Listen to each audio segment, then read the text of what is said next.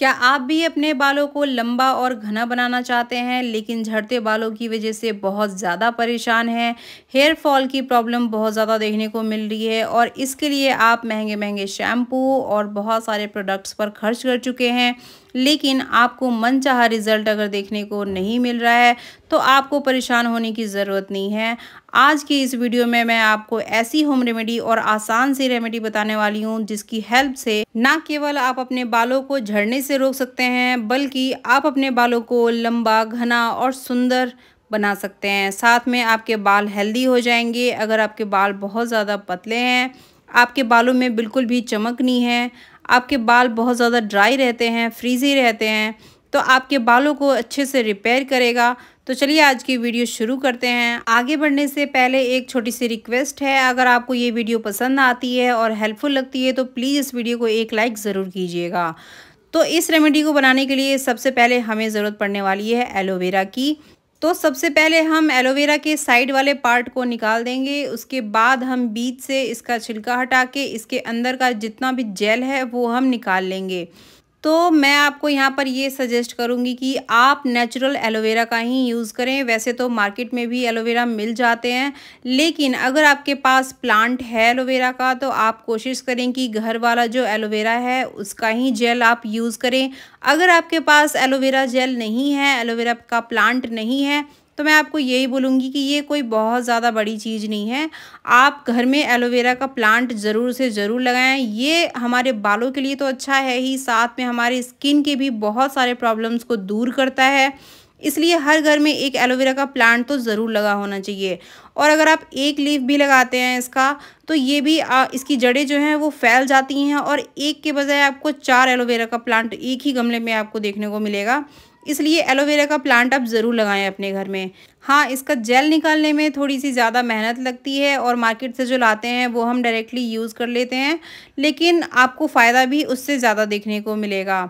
तो यहाँ पर मैं एक एक करके मैं इसके ऊपर का जो छिलका है लेयर है, वो मैं हटा रही हूँ और इसके अंदर का जितना भी जेल है, मैं निकाल लूँगी। तो मैंने यहाँ पर दो लीफ लिए थे एलोवेरा के तो मैं थोड़ा ज़्यादा एक्स्ट्रा बनाती हूँ, क्योंकि मैं इसका स्किन पे भी यूज़ करती हूँ। तो आप भी जब भी एलोवेरा जेल बनाएँ घर पे तो आप थोड़ा एक्स्ट्रा बना के रख सकते हैं फ्रिज में और इसका आप सात दिन तक लगभग यूज़ कर सकते हैं। तो एक स्पून की हेल्प से हमें कुछ इस तरीके से एलोवेरा में से जेल हमें निकाल लेना है इसका जेल ये बहुत ही ज़्यादा फिसलता है क्योंकि ये बहुत ही जेली टेक्सचर का होता है और स्लिपरी होता है। लेकिन फिर भी इसे निकाल सकते हैं हम आसानी से। तो कुछ इस तरीके से आपको निकाल लेना है और इसके बाद हमें इसको ग्राइंड कर लेना है मिक्सर जार में।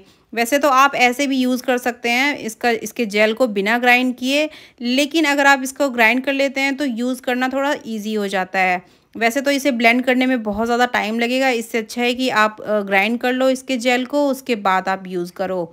तो अभी मैं बताने वाली हूँ आपको कि इस जेल को हमें किस तरीके से और किस चीज़ में मिक्स करके अपने बालों में अप्लाई करना है। तो वीडियो को एंड तक देखिएगा, बिना स्किप किए, ताकि कोई भी इंपॉर्टेंट पॉइंट जो है मिस ना हो।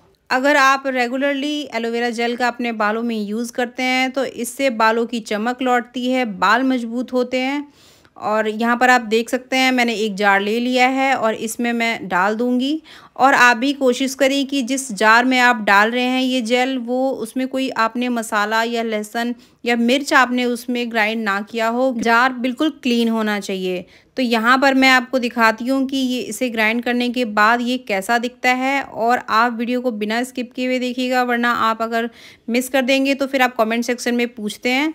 इससे अच्छा है कि वीडियो को आप एंड तक देखें। तो यहाँ पर आप देख सकते हैं कि ये ग्राइंड करने के बाद कुछ इस तरीके से दिखता है और ये भी आपको इसमें बहुत ज़्यादा झाग देखने को मिल रहा होगा, लेकिन कुछ देर में ये झाग हट जाएगा, गायब हो जाएगा और नॉर्मल जेल जैसा दिखने लगेगा। तो थोड़ी देर में ये जेल इसके ऊपर का जो झाग है, ये तुरंत हट जाने वाला है।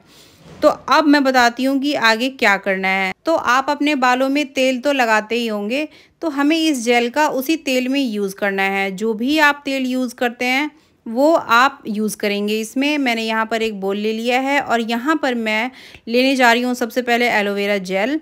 तो यहाँ पे मैं तीन से चार चम्मच के करीब मैं एलोवेरा जेल लूँगी। आप भी अपने लेंथ के अकॉर्डिंग आप इसमें जेल ले सकते हैं। उसके बाद हमें इसमें ऐड करना है ऑयल। हेयर ऑयल हम इसमें डालेंगे। मैं यहाँ पर कोकोनट ऑयल डाल रही हूँ, लगभग तीन से चार चम्मच डालूँगी। तो मैं आपको फिर से बताना चाहती हूँ कि आप अपने लेंथ के अकॉर्डिंग, आप, आपकी जितनी भी हेयर लेंथ है, उसके अकॉर्डिंग आप तेल ले लेंगे। तो आप जितनी मात्रा में तेल लेंगे, उतनी ही मात्रा में आपको एलोवेरा जेल ले लेना है। ठीक है? आपको इसके बाद अच्छे से इसे मिक्स कर लेना है। इसे आप थोड़ी देर में देखेंगे, थोड़ा सा आप टाइम देके इसे अच्छे से मिक्स कर लीजिए। ताकि तेल और जेल, एलोवेरा जेल आपस में अच्छे से मिल जाए, मिक्स हो जाएँ और उसके बाद हम कुछ देर के लिए हम ऐसे ही छोड़ देंगे। तो अब मैं बताती हूँ कि आपको इसका यूज़ कैसे करना है। तो मैं आपको यहाँ पे दिखाने की कोशिश कर रही हूँ कि जो जेल के ऊपर झाग था वो बहुत ही आसानी से हट रहा है और जेल हमें दिख रहा होगा। तो मैं आपको बताने वाली थी कि इसे कैसे और कब यूज़ करना है। तो आपको इसे या तो शैम्पू करने के तीन चार घंटे पहले आप इसे अपने बालों में अप्लाई कर सकते हैं। नॉर्मली मसाज करते हुए जैसे आप हेयर ऑयल आप अपने बालों में अप्लाई करते हैं वैसे, या फिर आप एक दिन पहले रात को आप इसका यूज़ कर सकते हैं। तो मैं यहाँ पर तेल और डाल रही हूँ क्योंकि उस समय मुझे ऐसा लग रहा था कि तेल कम है मेरे बालों के लेंथ के अकॉर्डिंग तो इसमें मैंने और तेल ऐड किया था। तो इसे आप चाहें तो एक दिन पहले आप रात में यूज़ कर लें या फिर अगले दिन आप यूज़ कर सकते हैं। शैम्पू करने के पहले। तो यहाँ पर अच्छे से मिक्स कर रही हूँ मैं। आपको भी अच्छे से मिक्स करना है इसे और फिर अपने बालों में अप्लाई करना है। तो एलोवेरा जेल का हम बहुत पहले से यूज़ करते आ रहे हैं एज अ मेडिसिन और इसका इस्तेमाल स्किन केयर से लेकर हेयर केयर में भी काफ़ी ज़्यादा पॉपुलर है। अगर आप बालों की समस्या से परेशान हैं तो कई समस्याओं को एलोवेरा ठीक करता है। अगर आपके सिर में डैंड्रफ है या फिर आपके बालों की जड़ों में हमेशा खुजली अगर होती रहती है तो आप एलोवेरा जेल का भी सिर्फ़ इस्तेमाल कर सकते हैं। लेकिन आप अगर तेल में डाल के इस्तेमाल करते हैं तो आपको और भी ज़्यादा फ़ायदा देखने को मिलेगा, क्योंकि इसमें फैटी एसिड पाया जाता है, जो हर तरह के इन्फ्लेमेशन को कम करता है, और यही नहीं, ये एक्स्ट्रा सीवम प्रोडक्शन को भी कम करता है। और आपके बालों को सॉफ्ट शाइनी और हेल्दी बनाता है। तो इसमें भरपूर मात्रा में विटामिन सी और ई e और ए पाया जाता है, जो आपकी बालों को ग्रोथ को बढ़ाने का काम करता है। मैं भी अपने बालों में एलोवेरा जेल का रेगुलर बेसिस पे यूज़ करती रहती हूँ। सिर्फ़ बालों में नहीं, बल्कि मैं तो स्किन पे भी यूज़ करती हूँ। और इसका यूज़ मैं शैम्पू के साथ भी करती हूँ। अगर वो वीडियो देखनी है आपको तो आई बटन पे या वीडियो के लास्ट में आपको देखने को मिल जाएगा। उस वीडियो को भी आप ज़रूर देखना। बहुत ज़्यादा हेल्पफुल है और एक बार आप ये रेमेडी भी ज़रूर ट्राई करना। आपको डेफिनेटली रिज़ल्ट देखने को मिलेगा और अगर रिज़ल्ट देखने को मिलता है तो आप ज़रूर से ज़रूर इस वीडियो के नीचे कमेंट में आकर कमेंट कीजिएगा ताकि औरों को भी हेल्प मिल सके। तो आई होप ये वीडियो आपके लिए ज़रूर हेल्पफुल रही होगी। अगर ये वीडियो पसंद आई है तो इस वीडियो को लाइक कीजिएगा शेयर कीजिएगा सब्सक्राइब कीजिएगा और नोटिफिकेशन बेल को ज़रूर ऑन कीजिएगा ताकि आने वाली हर एक वीडियो से आप अपडेट होते रहें। तो मैं मिलूँगी आपसे नेक्स्ट वीडियो में। Thanks for watching